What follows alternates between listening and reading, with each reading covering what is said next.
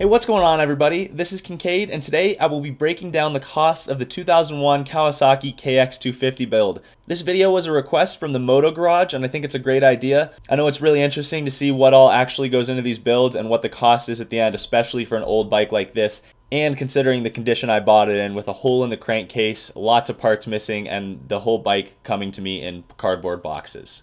So when I build bikes, I keep a really detailed spreadsheet of everything I spend to make sure that I'm coming out on top when I do end up selling these bikes.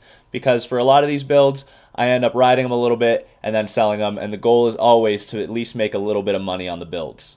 This Kawasaki was a little bit unique because I knew I was just going to go all out on it and it was going to be a fun winter project while I'm recovering from shoulder surgery. So I wasn't as worried about cost as I am on most builds and really just put all of the best parts and equipment I could into it.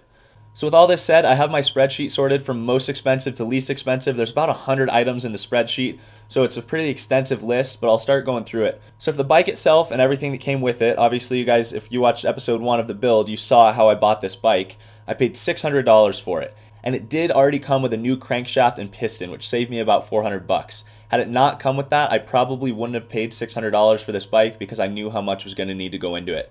So moving forward, the next most expensive item on the list was actually that TX Race Restyle kit. It ships from Spain and the shipping is not free. So that kit is actually $494, which is pretty pricey, obviously, for plastics. It did come with a new seat, and obviously you guys see how it turned out, so I'm happy with it, but that was the next most expensive item on the list. After that was the rear wheel coming in at $439. That was built custom by Warp 9 with those anodized purple hubs and nipples, and that also came with a brand new rotor and sprocket. And then moving down the list, the cylinder service from Millennium Technologies with that re-sleeve and replate cost $416.95. Obviously, that was pretty essential, and this bike now has a completely fresh engine as a result of that, so that is money well spent. The front wheel was $410, again came with a rotor with those custom purple hubs and nipples. Next on the list was the Pro Circuit Works pipe for the 2004 KX250 and then that needed a little bit of modification as you guys know to fit on the 2001 and I paid my friend Jonah $40 to do the cutting and welding of that pipe. Next up, you know the crankcase had a hole in the bottom of it, and I did not replace the crankcase, I had it repaired. So Ironhead Cycle down in Texas repaired the crankcase for me, and the cost on that was $200. Next on the list would be the custom graphics from Decalworks, which came in at $205. Moving right along, the linkage, shock, and swing arm bearing kit from Pivotworks was $180. I found a used OEM carburetor on eBay for $177 because the bike came with a carburetor from the incorrect year. The Shinko 524 525 tire combo cost $162. Those awesome IMS Pro Series foot pegs cost $96. A set of brand new transmission bearings from Hot Rods was $90. Both front and rear stainless steel brake lines from Driven were $85. It constantly blows me away how much better brakes have gotten.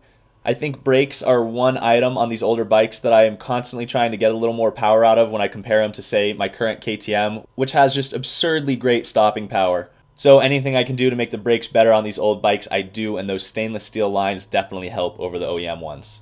Next up, the shock rebuild kit from Pivotworks was $80, and the fork rebuild kit from Pivotworks was $67. I spent about $60 on different paints for the shock, the frame, the subframe, and the triple clamps. I spent $55 on Pryme cleaning wheels, which obviously can't necessarily be considered a cost of the build because I still have those and they can still be used on future projects. And for I'm concerned, those are money well spent. This build is so much nicer than it ever could have been without those. This is also one of Cameron's shirts, Two Stoked, keep two strokes great. I really like it and it's super soft. If you guys want to pick one of these up, I will have a referral link in the description so you guys can help me out as well if you choose to support Pryme MX. Next up was a body bolt kit from Fast Metric. This was $52. This came with pretty much all the bolts I needed to make everything new on the whole body. For plastics, for triple clamps, the subframe, things like that, that kit came with a lot of great hardware. I got a 520 chain from Primary Drive for $51. All of the miscellaneous Dremel and cleaning wheels I ordered on Amazon were $47. Again, can't necessarily be considered part of the build cost because I have those for future projects, but I did buy them to use on this build. Next up is the Fuel Star Petcock kit, which cost me $45. It was just slightly cheaper than OEM. There was one power valve component missing, and that was the governor guide. So that cost me $40 to find one on eBay. Cannot find OEM power valve parts for the 01 KX250 anymore. It is very difficult. If you guys recall, the swing arm that came with the bike was cracked, so I had to find a new one of those on eBay that I picked up for $40. The bike was missing the piece that the clutch rod pushes. I couldn't find one of those alone, so I found one that came with a clutch push rod on eBay. That was another $40. That Topar Racing aluminum case guard was $39. The rear brake on this bike was totally mangled with a lot of jerry rigged parts, so I had to buy a new rear brake rod assembly, and that was $35. The bike did not have radiator louvers. I'm not 100% sure if that's how you pronounce that, but I bought a set of those OEM for $33. Again, one more cleaning type item that, well, I'll have past the use of this bike, but I bought a big box of Scotch-Brite pads on Amazon for $32. I bought brand new OEM frame guards for $29. One was cracked and they were just super dull and faded, and those brand new ones look amazing on the bike. Very happy with that decision. I bought a set of Acerbis fork guards for $29. I bought some GPI radiator hoses on eBay for $25. I used all new engine bolts once again from Fastmetric, and that was $25. A new mud flap from Polysport was $24. A Pro X carb rebuild kit cost me $24. I mangled the original ignition cover trying to remove paint from it, so I had to buy a new one on eBay. That cost me $23. The rebuild kit did come with a head gasket, but since I used it with the original head while waiting for the Fathead Racing head, I had to buy a new one that I will use with that Fathead head. That was $23. I needed a few miscellaneous case bearings that didn't come in any of my rebuild kits. Those were $22 there were actually a couple miscellaneous power valve components that cost me $22. The chain guide block and the chain slider from Acerbis cost me $21 a piece. The exhaust mount from a 2004 KX250 that I needed for the 2001 because of using that Pro Circuit Works pipe cost me $21. I had four different brake rebuild kits from Pro X, front caliper, front master cylinder, rear caliper, and rear master cylinder, and those were all between 18 and $20. The new OEM exhaust O-rings I purchased were $18, 9 a piece. The Pro Taper bar pad I bought was $18. I accidentally ruined one of the crankcase oil seals and had to replace it, so that cost me an extra $17. They did come with the rebuild kit. A set of Tusk rear brake pads cost me $17. A no-toil pre-oiled air filter cost me $17. If you don't use no-toil, I don't know why. In my opinion, it performs just as well as any air filter oil and is so much easier to clean.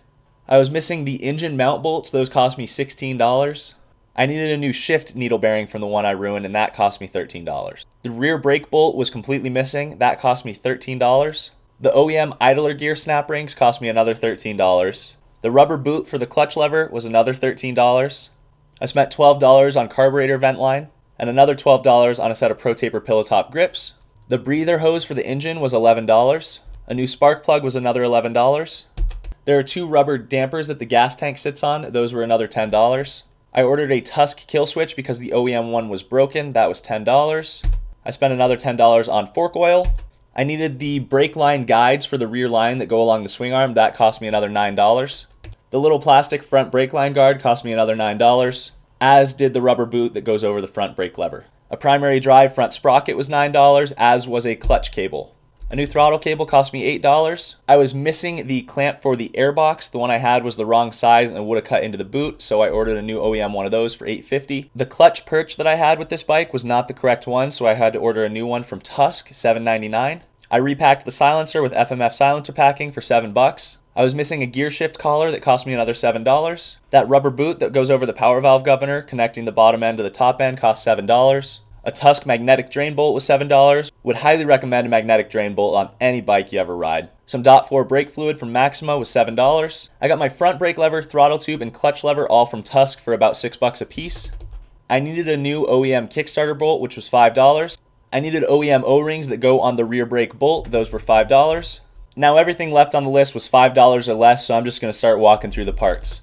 Foot peg springs from Fastway, an exhaust gasket, a rear brake spring for the lever, hose clamps, a water pump gasket, one clutch spring bolt because only one was missing, a little tiny gear shifter spring for inside the engine, a couple washers for the kickstarter mechanism, brand new dampers for the silencer, a new snap ring for the primary gear, a new Woodruff key, a new fuel tank vent line, OEM right foot peg spring because that was the one foot peg spring I could find. And that's the end of it.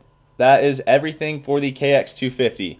Oh, one more item not on the bike yet is the Fathead Racing head, which costs $350. So if you ignore the supplies that I used, like paints, cleaning wheels, things like that, the total cost of this bike was around $5,500.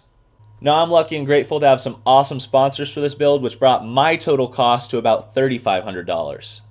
So with the support of these awesome companies, I was able to personally save about $2,000 on this build. Now when this bike is totally complete, it is actually going in my living room as a showpiece for a while, although I will probably eventually sell this bike. Now for how nice it is and literally every single component being rebuilt, obviously prices vary around the country, but here in Montana, I know that I can get around $4,000 for this bike. I know that might sound crazy to some people for a 2001 KX250. Just for reference, that 2002 CR125 I built last year sold for $4,000. And to be honest, the build quality on this Kawasaki is even better than that Honda was. So guys, let me know what you think. Is this more or less than you expected out of a build like this? How much would a bike like this be worth to you?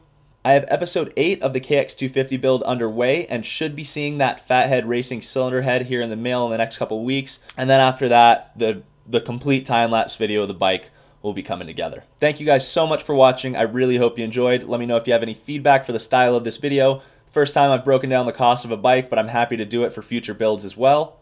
Be sure to check out episode 7 of the KX250 build if you haven't already, and I will see you guys soon with a new video.